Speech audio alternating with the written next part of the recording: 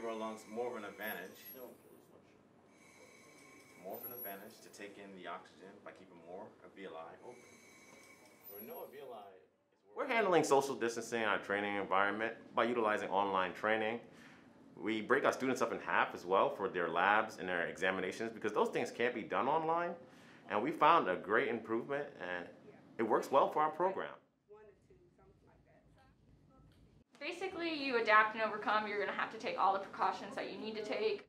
We are wearing masks, obviously. We have to wear gloves. Uh, in and out of rooms, we're going to do uh, hand sanitizing. They try to mitigate the groups down to at least like three to four people at a time in a room so that way we're learning as much as we can. We can ask as many questions while keeping the distance from each other.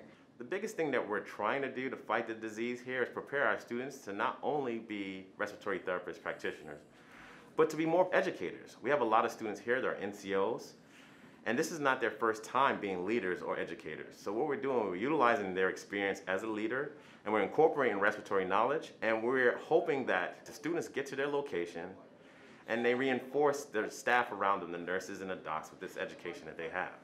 It's making it easier for a lot of us because we have a lot more time to really study on our own. It's taking away the stress that you have too many people in one room. So we're able to be in a place where we're comfortable at and we can do whatever studying we need to do. It's, it's a lot better for us. It's not really going to affect the mid volume, but if you increase a whole nother breath, and she's already on a breath at a rate of like, or a volume of 500.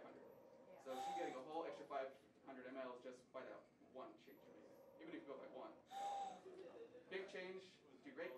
Small change, math for both, and then